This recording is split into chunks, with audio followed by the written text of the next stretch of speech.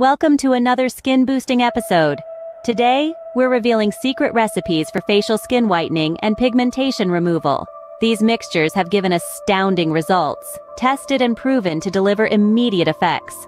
Our first key ingredient is bread yeast. Yes, that's right, yeast.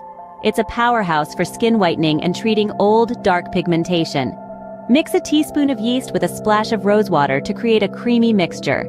This blend not only whitens but also tightens skin, reducing wrinkles. Now, add the Magic Touch powdered milk. Known for its lactic acid, it's a natural skin bleacher.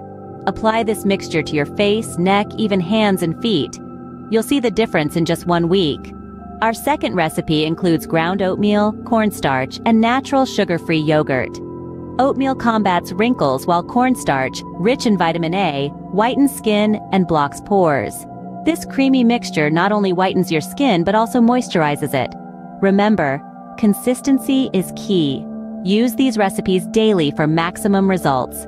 Within a week, you'll notice a significant difference. Your skin will be whiter, clearer, without pigmentation, and wrinkle-free.